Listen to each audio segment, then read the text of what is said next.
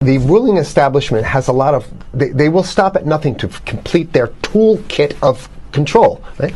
So one of the things that has been missing from the toolkit of total control has been quarantines and curfews, right? Mm-hmm. So now Welcome to the new world in America where to get on a bus, to go through a subway station, if you think that the procedures uh, at the TSA are onerous, right?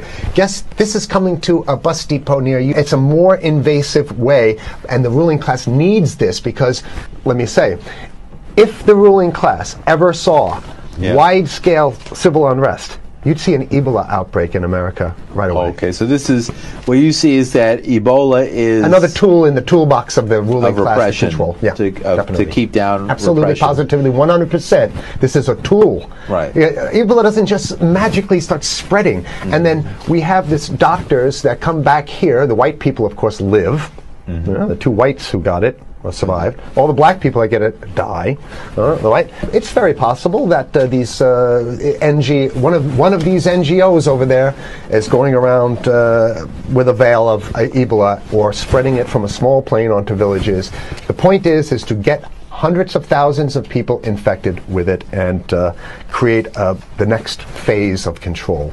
Now, one of the things I'd like to show to back up my uh, uh, my claims here. Uh, here's a document from the uh, Rockefeller Foundation. Rockefeller Foundation, right there. You can zoom in on that, where my finger is. It's called Scenarios for for the Future International Development, the Rockefeller Foundation. All right. Okay. Let's take a look at what they're saying here. This is uh, something like a 50, 60 page document. I'd like to, you to go to uh, page 18 if you can look at this up on the internet, but I'll read it off to you. It's called lockstep. Lockstep. And this is a, a phrase that I used uh, right after 2001 when I saw the entire system of the United States, including the population, were in lockstep uh, so the Congress went along, and yes, it was Osama bin Laden, and the people waved their flag and said, I hate, hate, hate, hate, and everything was in lockstep. Well, in 2010, uh, they published this, Rockefeller Foundation, and here's what they're saying. They're saying that. It's they call it a scenario. These are scenario narratives, and they speak about it in the past tense. So they put out this scenario: lockstep, a world of tighter top-down government control and more authoritarian leadership, with limited innovation and growing citizen pushback. Okay, I'll read a, a little bit of it. In 2012, the pandemic that the world had been anticipating for years, nobody was anticipating a pandemic, finally hit. Unlike 2009's N1 H, uh, H1N1, uh, this new influenza strain uh, originating from wild geese, they use wild, they use some scenario, but this is Ebola they're Yeah, talking yeah, about. ahead. Even the most pandemic prepared nations were quickly overwhelmed when the virus streaked around the world, infecting nearly 20% of the global population and killing 8 million in just seven months, the majority of them healthy young adults. The pandemic also had a deadly effect on economies. You, you can see the you can see the agenda just naked, raw, naked control agenda written down, and it's anybody's guess how this becomes effectuated in real life. So, whether this is written specifically as marching orders or whether people take it upon themselves in the intelligence networks to say, okay, well, this has been produced, so this is the plan here. But these narratives have to be written in advance because the intelligence agencies don't know how to do this, these narratives. They need help. So the, these think tanks, they come up with these like Rand Corporation, Rockefeller Foundation. These are think tanks of death. They're not the think tanks. They're not there to find great ways to help people. Right? Okay. The pandemic also had a deadly effect on economics. International mobility of both people and goods screeched to a halt. Right? Which is what they want. They want a completely isolated world, right? Debil- debilitating industries like tourism and breaking global su- supply chains. Well, of course they want tourism stopped because they don't. They're not in the tourism business, and they want you at home in your house in front of the TV. Then they got you because once you watch the TV, they they own your soul.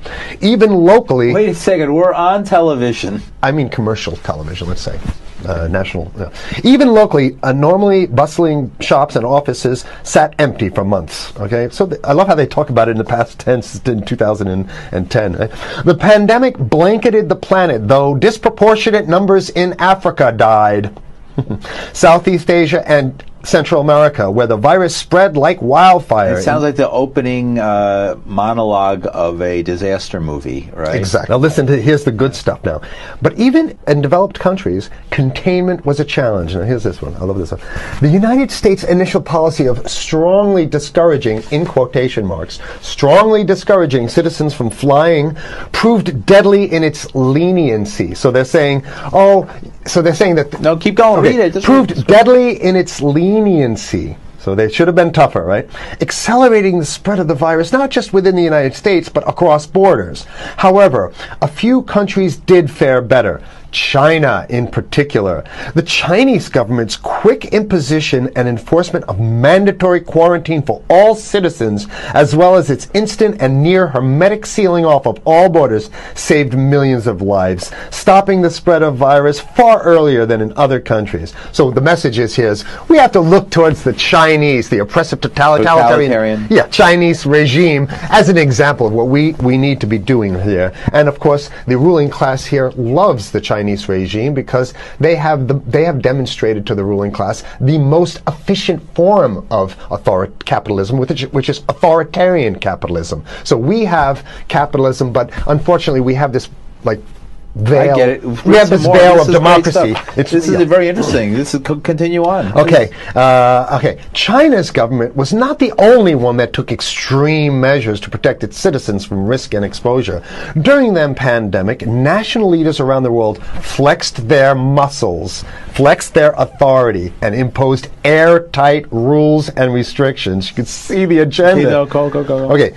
From the mandatory wearing of face masks to body temperature checks at the entries to communal spaces like uh, That's what's happening right now. trained, yeah, but soon it's going to be like body. You know, I, it's It'll not, be at the subway. Yeah. They, they, well, that what you're saying? We'll be going through this in the sub to get on the Absolute- buses and the absolutely, subway, absolutely, things like that. And and what what this means though is you know, you know don't, don't think about having a you know a cigarette, a joint on you, or you know I mean basically you can't.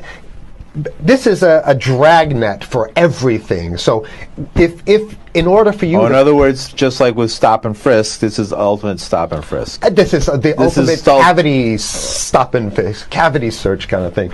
All right. So during the pandemic, national leaders around the world flex their authority. You know, they're they're they're they're, they're uh, now there's some good stuff. Listen to this. Uh, and even supermarkets, they want uh, body checks at supermarkets. Okay, so basically, what they're saying is they're building a system where every move you make, You can't get got to go through them. You Okay. can't get food. Food well, how about if you go to the farmer's market? Right. Here's the good stuff now. I mean, it just keeps getting better.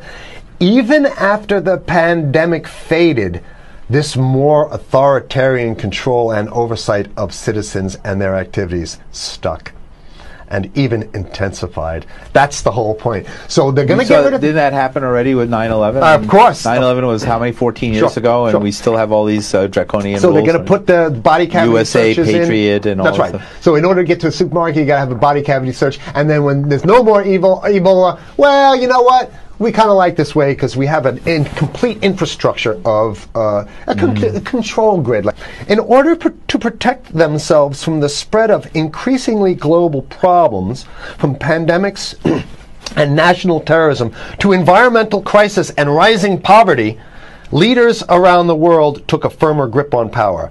Well, what the hell would rising poverty have anything to do with imposing strict uh, citizen controls with face masks? eh? So they're very sloppy stuff here. Uh, at first, the notion of a more controlled world gained wide acceptance and approval. I'm sorry. Nobody likes this stuff. Con- They're just on. saying it. Continue no, I have to. I have Yeah, to. I have to provide no, no, analysis. Only we only have five minutes left, so that's Oh my why. God, okay. Citizens willingly gave up some of their sovereignty and their privacy to more paternalistic states in exchange for greater safety and stability. I mean, that's just a, a, that's just a complete naked contradiction to the famous saying that if you think you're going to give up a little bit of uh, security, I mean, if you want, if you're going to give up your freedom for security, you're going to get neither. That's the long-standing thing. And here, what they're doing is they're not even ashamed or embarrassed to absolutely say the exact opposite. They're saying, yes, we all want to give up our, our privacy and sovereignty for more stability and security and stability. So you don't get that. When you give it up like that, you get the shaft. That Can you show us the, t- the cover again of I'll what you were just reading? one more time, and then I have this two is more what- documents. Right, Two this is more what we were reading here, and just zoom in a little bit so folks can see it. He'll zoom in. Don't worry, you can relax. All right. And scenarios for the future of technology and international development. Okay. Now I have two more documents. Keep it zoomed. We have the National Security Memorandum of December 10th, 1974. Uh, this is Henry Hold. Kissinger's brainchild. The National Security Memorandum number 200. You can look that up on your internet. Internet. I'll summarize it. He says that there's too many people. We got to get rid of the population. So if, to answer your question, Oh, from earlier. Yeah, yeah, he says he used the word depopulation, which is different.